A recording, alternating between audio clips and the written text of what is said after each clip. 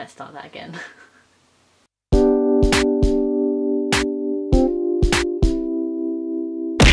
Hi guys, welcome back to my channel and today we're going to be doing my rendition of the mid-year freak out book tag because I want to do some of the questions that are in this tag but I also kind of don't have answers to some of them so I'm just kind of like picking and choosing what questions to do and kind of just let's just have a chit chat of like how my reading has been so far this year because we are halfway through the year so it's time to kind of accumulate my thoughts of the books I've read so far. So a bit of background about me is I tend to read about 50 books a year, give or take a few books. And this year, because of lockdown and our very unforeseen circumstances, I've actually managed to read 45 books to date. And so I'm absolutely smashing my Goodreads goal. So I have a lot of books that I've loved this year, a lot of books that have disappointed me. So I'm just going to kind of, we'll have a casual chat about my reading so far this year kind of getting prompts from the mid-year book freak out tag but kind of just casually chit-chatting about the books I read. So let's get started. The first question so far and one that I do want to actually answer because it's probably the one that you're all most interested in is the best books I've read so far this year and it does kind of state to only name one but I'm kind of finding it difficult to narrow it down to just one so I'm going to run off a few for you. There's a dystopian, sci-fi, there's a fantasy and there's a couple of contemporaries in there for you because I'm a contemporary lover so of course I have to mention a contemporary but the first book that first came to mind is Thunderhead by Neal Shusterman. This book is about a world where you can't die of natural causes anymore. You can't die in a car crash, you can't die of natural causes like diseases and all these sorts of things. And it follows, the first book I follows two characters who go on an apprenticeship for a year to become um, scythes.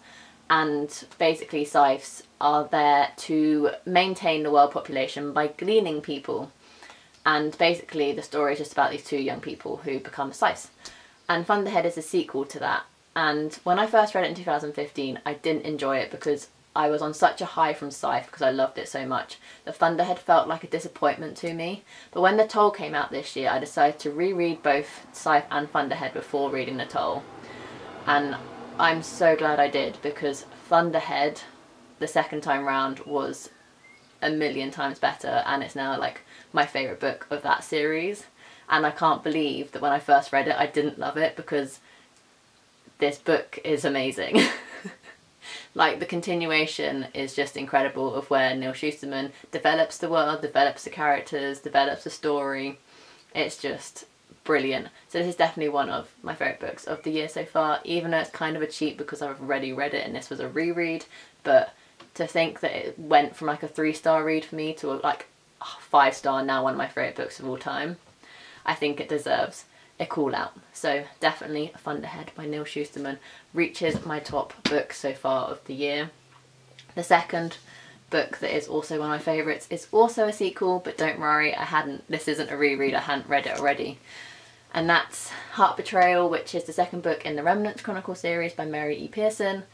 And I'd read Kiss of Deception, which is the first book, I want to say in like 2016, having had it on my shelf for two years. I got it as a Christmas present in 2014. I just hadn't read it.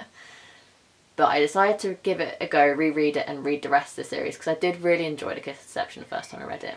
Reread that first book and loved it and I was like, I need the rest. So I brought the other two books and I read both of the last two books this year and oh my god, The Heart of Betrayal is again another amazing sequel and people keep saying like second book syndrome like it's always like the middle ground book it's not as good as the first or the third. But this year is proving me wrong and there is, has been no second book syndrome for me. So if you didn't know the kiss of deception follows a princess who runs away on her wedding day and you follow three perspectives the princess the assassin sent to kill her and the prince that she was meant to marry.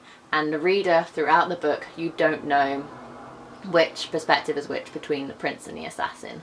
And it basically just follows her journey. And obviously the heart betrayal is a continuation of this. And oh my god it's one of my favourite series of all time. And this book is my favourite book of the series. So that has to give a shout out. And because I am a contemporary lover and I tend to read like 90% contemporary I couldn't not include a contemporary in one of my favourites so far. And this is Birthday by Meredith Russo. I literally heard of this book at the beginning of the year and read it in January and it's still one of my favourite books of the year. This is about two boys and you follow their love story throughout 18 years. They've known each other since birth and you basically follow their journey into when they turn 18 but every single year you only follow them on their birthday. So the main character Morgan, although you get both perspectives, you do kind of follow mainly Morgan's perspective.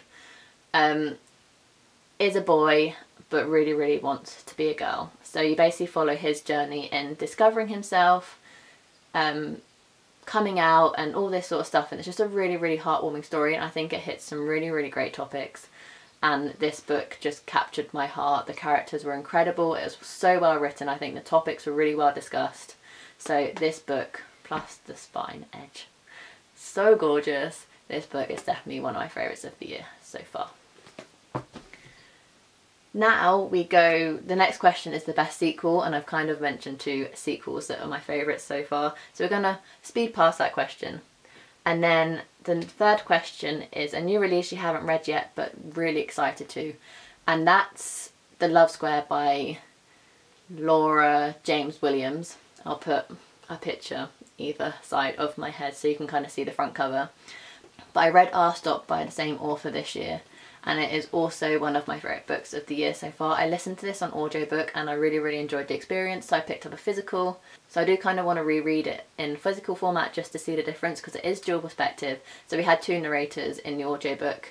I just want to see how like how well it reads rather to how well it like I listen to it. But this is basically about two people and I always forget characters' names even though characters are my favourite part of books. Nadia and Daniel basically follows their journey as they kind of like meet each other but they only ever see each other on the same train that they commute on every single day on the London Underground. So it's kind of cool to read like an un London Underground story because uh, I live on the outskirts of London and tend to take the London Underground a lot. So it's kind of cool to see that sort of love story develop on a London Underground and they communicate by writing each other notes in this like newspaper article where people can like write in and like have like tube crushes. So their like relationship evolves and like develops through this like article sort of thing that they both write into. And they try and meet up and they always kind of miss each other and all this sort of stuff. And yeah it's just a really cute romancy read and I highly recommend it. And I did really really enjoy this story by Laura Jane Williams. So I'm excited to read her new book coming out very soon. I think it's July, which is The Love Square. So that's that question. Moving swiftly on is the most anticipated release for the second half of the year. And that, my friends, is In Case You Missed It by Lindsey Kelk. I don't own it yet because it hasn't come out, but it comes out in like two or three weeks. It comes out in July, so I'm very excited for it. Lindsey Kelk is the author of the I Heart series, and it starts with the first book of I Heart New York. It is an eight book series that follows a girl called Angela who finds out her fiance or boyfriend has been cheating her been cheating on her for 10 years so she runs away to New York and starts her whole new life in New York finds out, finds new best friends, finds a new job, and just basically thrives in this New York City. And it's all about like her journey, and her journey literally spans across eight books. The last book have coming out just this past year. And you know me, I'm a sucker for good characters, and this whole series just has crazy good characters. And obviously, the first book was written a very long time ago, so Lindsey Kelk, and I think it was her debut book so her writing has progressed and has got better since. So if you do give the first book a try, please bear that in mind that it was her first book and it was written quite a long time ago. But it's just a fun, quick, light-hearted, good romancy book with really good friendships, really good relationships, really cool locations. Each book is set in a different country. And I just love Lindsey Kelk. Um, I have met her.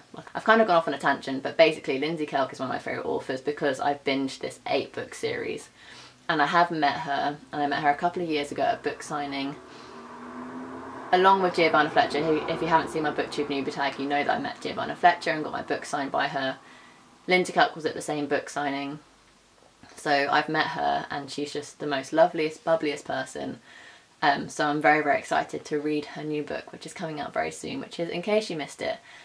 And I don't know anything about it because I don't want to know anything about it because it's Lindsey Kelk and I know that she's going to just write an incredible story. And she keeps tweeting that it's her favourite book that she's written to date. So she's setting herself a high bar and I'm gonna make her earn it. so I'm really, really excited to read that. And it's currently in my Waterstones shopping basket on a pre-order because I just want it as soon as it comes out. So I'm really excited for that one. And then my biggest disappointment so far this year, which is number question five or something, um, it's kind of a really sad one because the other book that I read by this author is one of my favourite books of all time. Like it easily comes into like my top books, like top 10 or 20 books of all time or whatever. And that book's Dark Matter. So when I read Recursion by Blake Crouch, I was so excited for it. But it really disappointed me. I just, I didn't like the story. I found it a bit too scientific for me. I kind of didn't follow along when it got got to that stage, and I just I don't really re remember much about it, and I only read it like two months ago. I'm just really disappointed. There's not much to say about this because I don't really remember anything, but I kind of want to keep it because it matches because it matches Dark Matter, but I do think I'm to have to get rid of it because I just it just didn't live up to the expectations I had because Dark Matter was so good and because I love Dark Matter so much I had high expectations for this one and it just didn't live up to it. What I can remember is the whole premise of this book is about being able to relive the same life but changing the ending or changing an aspect of that life to be able to change the ending. And it's all about this main character who figures out how to do this. Um, and he just lives like loads of different lives. Basically kind of all I can remember about it. I'm not really giving it great vibes because I didn't really enjoy it. But I would give it a go because I do know some people actually prefer Recursion to Dark Matter. I think it's just personal preference and for, for me it just didn't live up to Dark Matter for me. So that's my biggest disappointment of 2020 so far. Hopefully I don't have any more. and then, biggest surprise book-wise for me. I think I'm going to have to repeat a book because that book would be Thunderhead. It's just, the reason it was such a big surprise is because I had already read it two years ago and I just wasn't a massive fan of it, but rereading it this year, I must have just been in a really good mindset to read that book and I absolutely loved it. So it's a bigger surprise because I just wasn't expecting to like it. If we don't want to repeat books, I will mention another book that did surprise me and that's Moxie by Jennifer Mathieu. Yeah, Jennifer Mathieu. The reason this one surprised me is because I've had it basically on my shelf since its release, which I don't even know when it was, but I want to say a good couple of years ago. 2017 this came out. So yeah, it's been on my shelves for a, two or three years and I've tried to read it about three times. All times during like reading slumps because contemporaries tend to get me out of reading slumps. So I've always kind of like read it to try and get out of a reading slump but it's never done the trick. But then during the OWLs in April I had to read a book beginning with M. This was like the only book on my bookshelf that began with M. So I decided to give it another go and my golly gosh and my god it just surprised me because I was like where was this book when I wanted to read it like three or four times ago. This book was really really good basically follows Vivian who starts a feminist zine or magazine and basically starts a feminist movement in her high school. Um, inspired by her mum who was a very strong feminist back in her day and had held protests and all this sort of stuff. So she was very inspired by her mum. So she started this scene and she basically just fights for what's right in her high school. Um, with a group of girls that become the Moxie Gang and the caption is Moxie Girls Fight Back and it's all about feminist and girl power so if you're looking for a really strong female lead in a YA contemporary I highly highly recommend this one. And then I don't kind of do fictional crushes like I find characters like swoon-worthy and all that sort of stuff but there's not one that I like really love and would like I think I've got past the stage. I'm 23 now. I just had my birthday on Friday. If you didn't see my birthday vlog, I will leave it down below. Um, but yeah, I'm just kind of past the stage where I read books and I'm like, ooh, that's a really good fictional crush. But fictional characters, on the other hand, if you didn't know, because I think I keep saying it, I fucking love characters. no, I really, really enjoy characters in books, and if the plot's alright, the writing's a bit meh, but if the characters are good, I'll probably love the book. Um, so my favourite characters so far this year that I just want to read more and more and more of, but there's no more content out there for me to read, is Nick and Charlie. Nick and Charlie, I got it right. the right way around that time. Um, which these two characters are created by Alice Oseman, who is well known for Radio Silence, Solitaire, which is where Nick and Charlie first come into play, is in her Solitaire um, book, and then she has a couple of spin-off novellas that feature Nick and Charlie, which I have read, which include Nick and Charlie and This Winter. But my favourite content for Nick and Charlie does have to be the Heartstopper graphic novel series, and yes, I have read all three. One and three, like, are my favourite, I think. Three was just so, so good.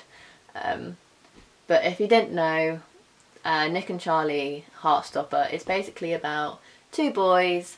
Um, Nick doesn't know his sexuality and he's trying to figure it out but Charlie was outed at high school, so he's openly gay. So Nick and Charlie form a friendship that kind of evolves into something more and it's just very very cute and because it's graphic novel it's so quick and easy to read and the style is very very sweet. There's actually a Heartstopper colouring book and I kind of want it because that's the literally the only new content from Nick and Charlie that I'll be able to get my hands on until volume 4 comes out which I think is later this year, so I'm very, very excited for that. But yeah, Nick and Charlie definitely have, definitely have to be my favourite characters that I've read about this year. On par with the Kiss of Deception characters, because my golly gosh, ah, I could read more about Kaden, Rafe and Lia every single day of my life. So yeah, the next question is a book that made you cry. I haven't cried reading and I barely ever do cry reading. I think the last time I cried reading a book was Always and Forever Lara Jean by Jenny Han and that was probably about three years ago. I just find it really hard to cry reading books, which is kind of good because then my pages never get damaged. Um, but yeah, never had a book to really make me cry apart from the one I just mentioned. And then a book that makes me happy. Any book that I've loved and already mentioned this year has made me happy. And I did just read, I finished it last night, The Black Flamingo by Dean Atta. That book was so good and I really, really highly recommend you read it. It's about a black teenager who discovers the drag society at his university and how he becomes himself because he's found drag and it's like his outlet. And it's all written in verse and there's some really really powerful poems in there that like feel like their own but is also widely part of this book. And it's so well written, the topics are so well spoken about. And I highly recommend you go check it out. So that's that one and I'll I'll say that one's the one book that's made me happy because that was a very good read and I really enjoyed that one.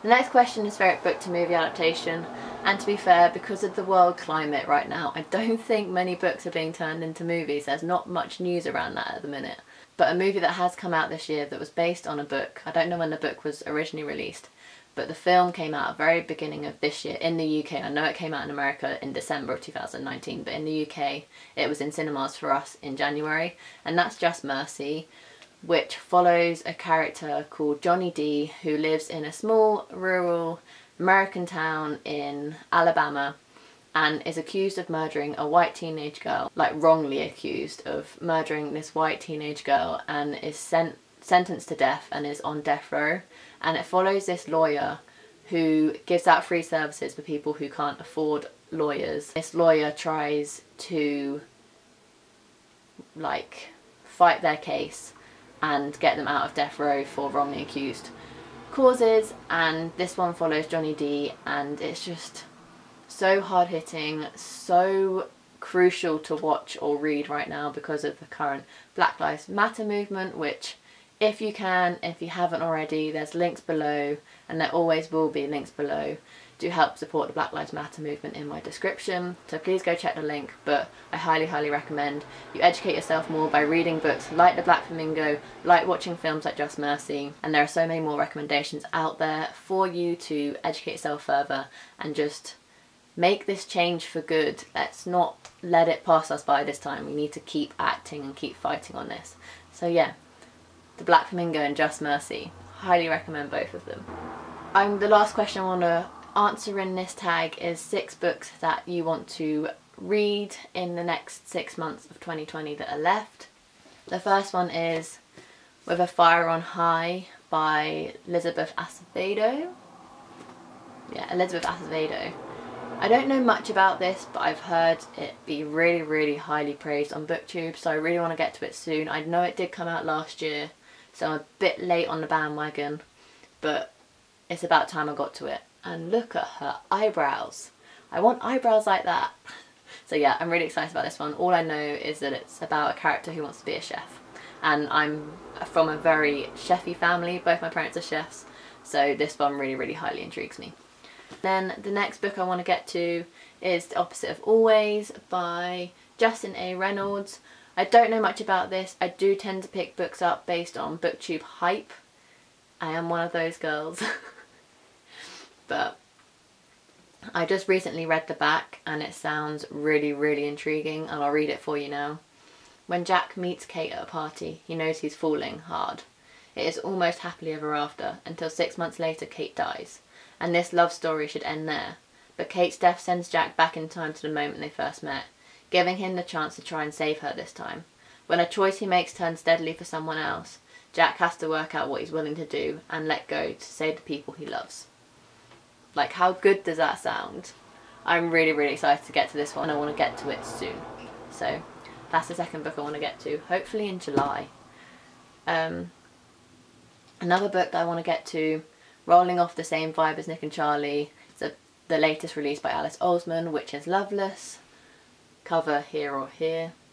Don't know much about this one, but I do because I love the characters that Alice Oseman does create. I just want to pick up her latest release. And then the last book I want to mention is a new release from one of my favourite autobi authors, which is Lisa Williamson. And she is most commonly known for her book The Art of Being Normal, which I absolutely love and it's up here. but yeah, she's an autobiographer for me and I do tend to read all her books in like 24 hours or in one sitting. I just love her stories, I love her characters so I, her next book I'm very, very excited for. And it's First Day of My Life, Here or Here. Once again, I know nothing about it because it's just an author that I always buy her books and always support her. So that's it. There's a few, there's obviously way more books I want to get to and because I am smashing my Goodreads goal this year, I do kind of want to get to 100 books now rather than 50 just to push myself harder and just try and do something that I know I'll never ever be able to do, probably in the rest of my life with other commitments and stuff that are going to start popping back up after this pandemic is over. But that's it. That was kind of the mid-year freak out book tag, but kind of just having a bit of a catch up with you guys on the first half of my year because I have just started so none of you have known what I've been reading this year. So hopefully that gives you a bit of an insight in my reading taste, what I like to read, and if you have any recommendations and suggestions of books you think I'll like, please leave them down below. But that's it. If you like what you saw and you like what you heard, please give this video a like and subscribe and I'll see you in my next video. Bye.